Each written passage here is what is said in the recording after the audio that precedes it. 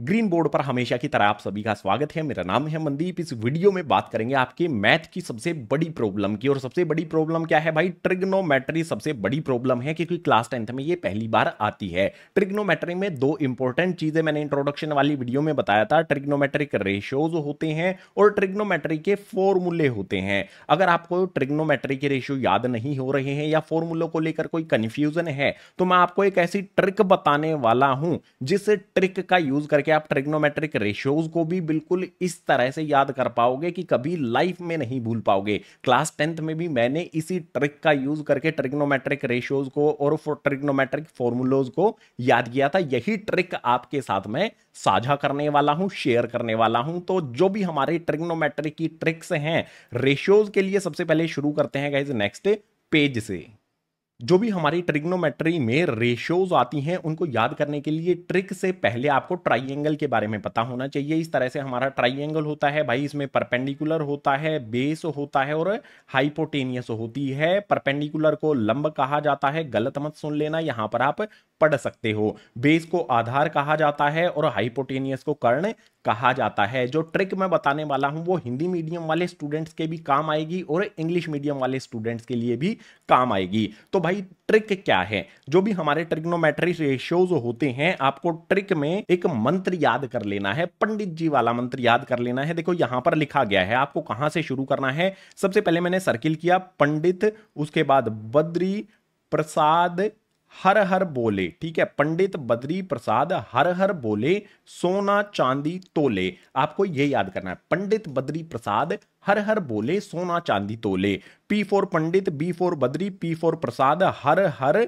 बोले सोना चांदी तोले। मैंने बार बार आपको इसको रिपीट कर दिया है। पंडित, बद्री, प्रसाद, हर हर बोले सोना चांदी तोले। अब इस ट्रिक से, इस मंत्र से हम अपने सारे ट्रिग्नोमेट्रिक रेशियोज बना सकते हैं। ये इंग्लिश मीडियम वाले स्टूडेंट्स के लिए काम आएगी। सो देखो यहाँ पर एस फोर क्या होता है? सोना होता है एस फोर सोना एस फोर होता है हमारा साइन ए ठीक है इक्वल्स टू में आप यहाँ पर देखो पंडित का पी ले लो और जो नीचे हर, हर दिया गया है उसका एच ले लो। तो साइन ए क्या होता है? पी फोर पंडित अपॉन में एच फोर हर परपेंडिकुलर अपॉन हाइपोटेनियस होता है। ये ट्रिग्नोमेट्रिक रेशियो हमें मिल गया है इस मंत्र का यूज़ करके साइन ए के लिए। इसी तरह से जो हमारा अगले वाला है चांदी सी से होता है और सी से ही होता है हमारा को से तो को से ए इक्वल्स टू में हमारा क्या हो जाएगा भाई?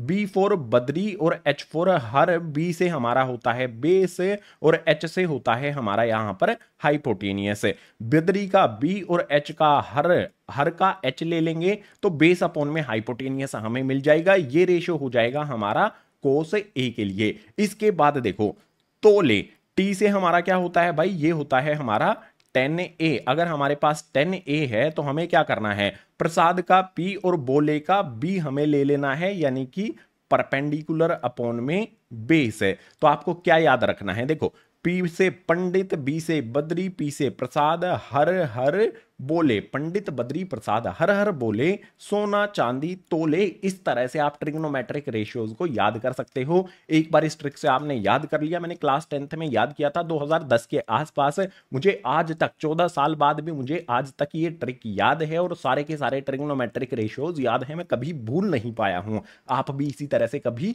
भूल नहीं पाओगे। ये तो हुआ इंग्लिश मीडियम वाले स्टूडेंट्स के लिए। अगर तुम हिंदी मीडियम में हो तो भी आपके लिए एक ट्रिक मैंने बनाई है। सो आपको देखो एक चीज़ याद रखनी है। साइन ए कोस ए और टेन ए ये तो आपको याद रखना है। आपको उसके बाद ट्रिक क्या है? देखो, लाला आया लेकर कच्चे कच्चे आम। इस तरह से आप ट्रिक याद कर सकते हो। लाला आया लेकर कच्चे कच्चे आम। अब इसमें ट्रिक क्या है? तो देखो, साइन ए हमारा एज इट इज़ लिख देना है। इक्वल्स टू में एल से लाला होता है, ठीक है? और एल से ही हमारा लंब होता है। एल से लाला एल से लंब हो जाएगा। तो यहाँ पर आ जाएगा हमारा लंब और बटे में के से हमारा कच्चे होता है और के से ही होता है कर्ण। तो लंब बटे में यहाँ पर आ जाएगा हमारा कर्ण। ये ट्रिक किसके लिए हुई है? हिंदी मीडियम वाले स्टूडेंट्स के लिए। इसी तरह से यहाँ पर हमारा कोस ए है तो भाई कोस ए लिख लो। इक्वल्स टू में हमारा यहाँ पर है आया। ए फोर आया ए फोर आधार होता है तो यहाँ पर आ जाएगा हमारा आधार और नीचे हमारा आ जाएगा यहाँ पर के से कच्चे होता है और के से ही हमारा कर्ण भी होता है तो नीचे आ जाएगा यहाँ पर कर्ण। बिल्कुल इसी तरह से टेन ए हमारा यहाँ पर हमें लिख लेना है भाई। टेन ए हमारा आ जाएगा इक्वल्स टू में हमारा क्या है? लेकर एल फोर लेकर और एल फोर लंब होता है तो यहाँ पर आ जाएगा हमारा लंब और अब नीचे हमारा क्या है? आम आ जाता है। ए से आम होता है और ए से ही आधार होता है। तो यहाँ पर आ जाएगा हमारा आधार। इस तरह से आपने याद कर लेना है। ट्रिक क्या है भाई? लाला आया लेकर कच्चे कच्चे।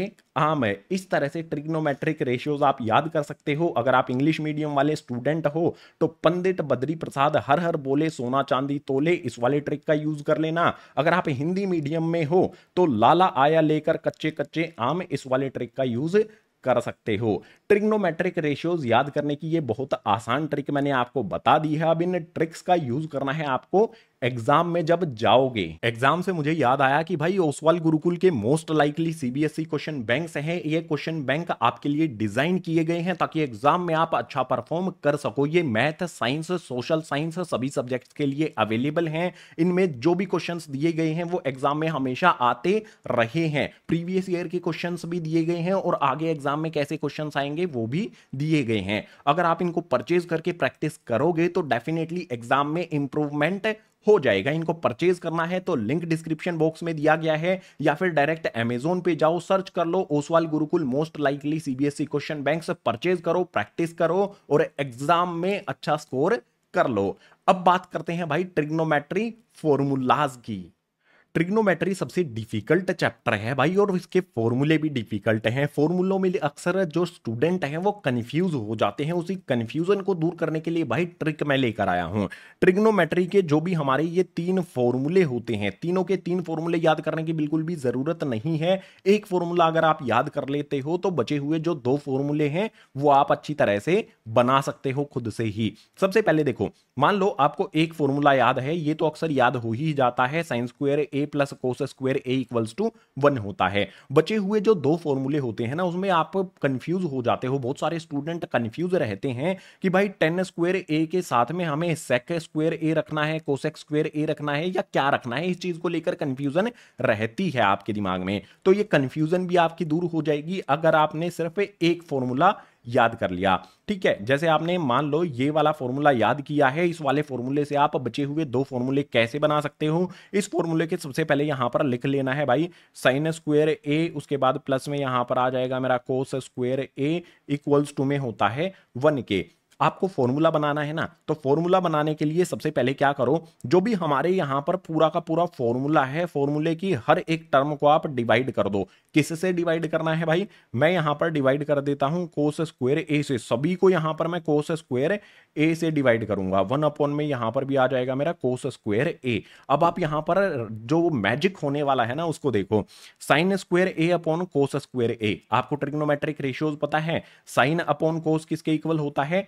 टेन के इक्वल होता है तो भाई sine square A upon cos square A ये किसके इक्वल हो जाएगा? यहाँ पर टेन स्क्वेयर ए के इक्वल हो जाएगा प्लस का साइन लगा लो। भाई ऊपर भी कोस है, नीचे भी कोस है तो मैं क्या करूँगा? जो भी मेरा कोस ए है, उससे कोस ए को काट दूँगा। काटने के बाद बचेगा क्या मेरे पास? यहाँ पर वन बच जाएगा इक्वल्स का साइन लगा लूँगा। वन अपॉन में कोस स्क्वेयर ए यहाँ पर आ जाता है। तो देखो भाई, वन अपॉन में कोस किसके इक्वल है? सेक के इक्वल है तो इक्वल्स टू में यहाँ पर आ जाएगा मेरा सेक स्क्वेयर ए अब अगर आप ध्यान से देखोगे तो tan square A plus one equals to में सेक स्क्वेयर ए ये हमारा फॉर्मूला बन जाता है दूसरे वाला। दूसरे वाले फॉर्मूले में क्या है? One plus tan square A one plus में टेन स्क्वेयर ए इक्वल होता है हमारा सेक स्क्वेयर ए के। दूसरे वाला फॉर्मूला हमने क्या किया? फ़र्स्ट वाले फॉर्मूले का यूज़ करके सेकंड वाला फॉर्मूला यहाँ पर बना लिया। अब आप कहोगे कि थर्ड वाला फॉर्मूला कैसे बनाए? बिल्कुल कहना चाहिए भाई आपको। तो भाई यहाँ पर क्या किया जाएगा? जो भी मेरा पहले वाला फॉर्मूला है यहाँ पर साइन स्क्वेयर ए उसके बाद यहाँ पर आ जाएगा प्लस में कोस स्क्वेयर ए और जो भी हमारा प्लस का वन है, वो एज इट इज़ लिख लेना है। हमने क्या किया? जो भी हमारा फ़र्स्ट वाला फॉर्मूला था एज इट इज़ यहाँ पर राइट डाउन कर लिया।